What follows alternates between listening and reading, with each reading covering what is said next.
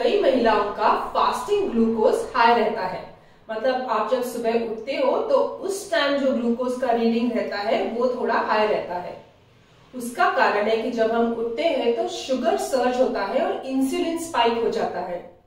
इसको अवॉइड करने के लिए आपको उठने के बाद थोड़ी सी मेडिटेशन की प्रैक्टिस करनी है, ताकि आपका जो शुगर का सर्ज है, वो थोड़ा बना रहेगा और फास्टिंग ग्लूकोज मेंटेन हो जाएगा।